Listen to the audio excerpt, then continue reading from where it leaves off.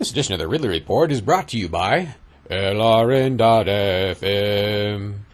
Feds don't want you to hear them. What did you just say? You're gonna have to leave this sir. Okay, that's what I'm doing.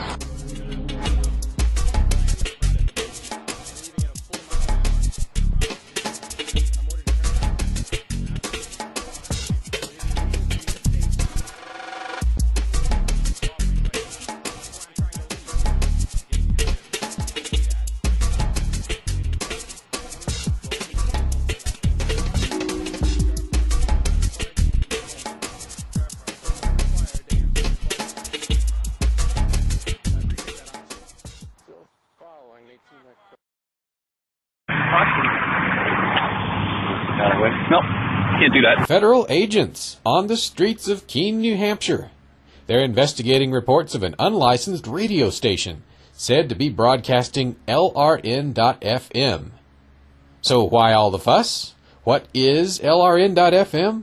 Well, it's probably not something these agents want you to listen to. It's a 24 hour news talk broadcast, all pro liberty. A true authoritarian free zone. Tune in at lrn.fm to listen or broadcast their signal. lrn.fm. Feds don't want you to hear them.